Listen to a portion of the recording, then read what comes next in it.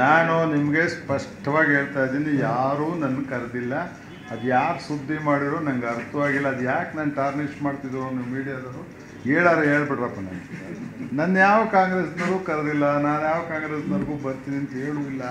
ಆ ಸ್ಥಿತಿಗತಿ ನಮಗೆ ಬಂದೂ ಇಲ್ಲ ಮರಾಯ. ಸಂತೋಷ ಪಡ್ತೀರಿ. ದೇವೇಗೌಡರ ಬಂದು ನಿಂತ್ಕೊಂಡ್ರೆ ಅಂತ ಏನಾಯ್ತು ರೀ ತುಮಕೂರಾಗ? ಅಷ್ಟೇ ಇದೇ ಚರ್ಚೆ ನೀವು ಮಾಡ್ತಿದ್ರಿ ದೇವೇಗೌಡರ ಬಂದು ಬಂದ್ರಪ್ಪ ಅದು ಅಷ್ಟೇ. ರಾಜಕಾರಣದಲ್ಲಿ ಯಾರು ನಿಂತ್ಕೊಂಡ್ರು ಎದುರಿಸ್ಲೇಬೇಕು ಎದುರಿಸ್ತೀವಪ್ಪ. ಅದಕ್ಕೆ ಏನು ಮಾಡೋಕ್ಕಾದ? ನಾವು ಒಂದು ಇಪ್ಪತ್ತು ಮೂವತ್ತು ವರ್ಷದಿಂದ ರಾಜಕೀಯ ಮಾಡಿದ್ವಿ ಅವ್ರು ನಿಂತಾರೆ ಇವ್ರು ನಿಂತಾರೆ ಅಂತ ಯೋಚನೆ ಮಾಡಿ ಮಾಡಿಲ್ಲ.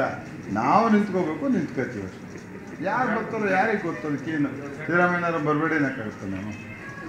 ಹಾಂ ದೇವೇಗೌಡರು ಬರಬೇಡಿ ಅಂತ ನೀವೆಲ್ಲ ಪೇಪರ್ನವರು ನಾವು ಜನವರಿ ಟ್ವೆಂಟಿ ಸಿಕ್ಸ್ ನಿಮಗೆ ಅದಕ್ಕೆ ಮಾಡಕ್ಕೆ